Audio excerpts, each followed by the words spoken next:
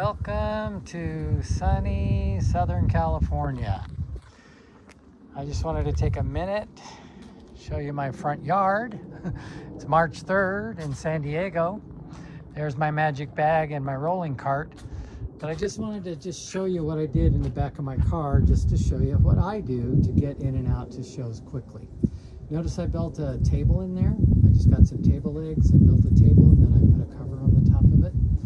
So what this enables me to do is here on the top, I put um, all of my airbrush uh, tables, chairs, um, I put the rolling cart on top. I slide my bag in there on the left and on the right, I slide in all of the airbrush equipment. Uh, the bag, the display board, all of my airbrush stuff, the CO2 tanks. So everything I need to go in and do airbrush face painting, magic, and balloons all fits into the back of my, my Outback here one little area, right? And I designed that so that it, I don't have to think about it. I stick it in, it goes in there every time, I pull it out, I have everything I need. So let's just take a look at my magic bag real quick.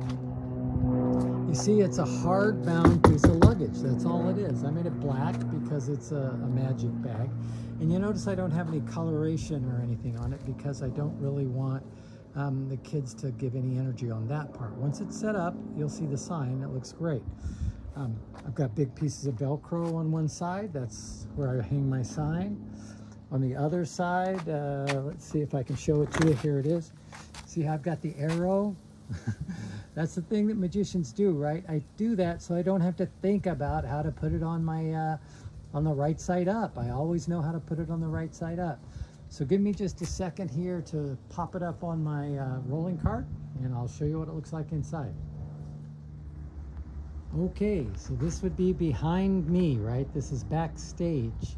I'm gonna be standing in front of this and the audience is gonna be out on the grass, all right?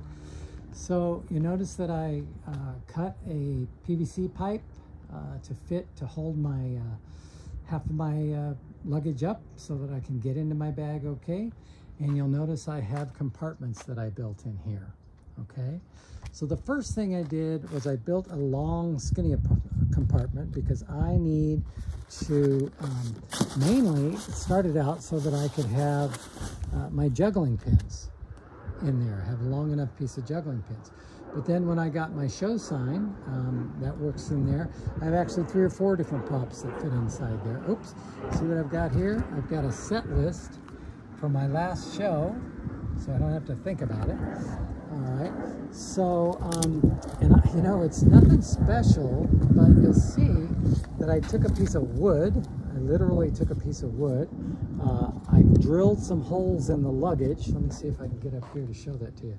I drilled some holes in the luggage right here. I drilled some holes in the luggage right here so that I could tie this piece of wood in so that it would stay there. And that gave me a separate compartment. Then after that, I created some boxes, right? I created a box to hold my, this is a uh, a die box. That's about a $400 piece of equipment, so I like to protect it. This is where I've got lots of stuff inside here. Um, I got lots of stuff inside here. And the reason uh, that I like this is for my smaller stuff. I have a little lid that flaps onto there. This is uh, a change bag that can go anywhere. This down here is the box that holds my um, Rubik's Cube trick. That's a $300, $400 trick, 450 actually. But that's the box that came in, so I put some Velcro on it and have a little strap. Piece of balloon from the card and balloon last, last show. This is my microphone for my sound system. And there's a whole other set of stuff back here, including uh, juggling balls and stuff like that back here, okay? Inside this half is a whole nother set of stuff, things that pack flat, like uh, you know, even I have a magic coloring book that's in there, but I also have linking rings, I have juggling rings, I have a, uh, the appearing boxes out of a paper bag I have. So I have a whole bunch of stuff in here uh, in two different zippers, all right? So in this one bag, I can carry uh, probably three 45 minutes shows worth of equipment because I believe pack small, play big, right? Pack small, play big. Um, and uh, that's what I do. So I'll show you real quick how my sign works. Um, and then I'll be done with showing you this part. Okay, so the reason I use this little board is that my show sign is just a little bit too wide for my bag. Um, and I can't cut it down without cutting off the words. So I built this little piece of equipment that just Velcros onto the front. It makes it nice and flat. And then you see I have the boat Velcro pieces uh, that connects the sign uh, to it. Now, let me just show you here. These two pieces of board are connected by red duct tape right? Nothing exciting, just red duct tape. Um, but I did tape on either side and it's lasted me for two or three years now. Okay, there's my vinyl show sign. Uh, you see how it Velcros right up there? I bought that sign off a site called Vista Print, where you just make up the sign, send it to you, and they'll send you a vinyl sign.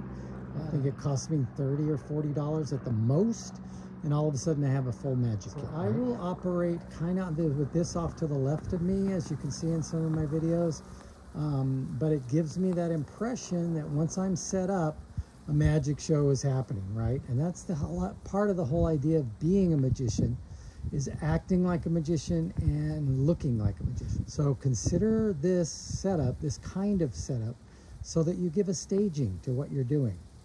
All right? Well, I hope you enjoyed it. Don't forget to subscribe and uh, go ahead and take a look at my first uh, bit, my opener. Have a great day.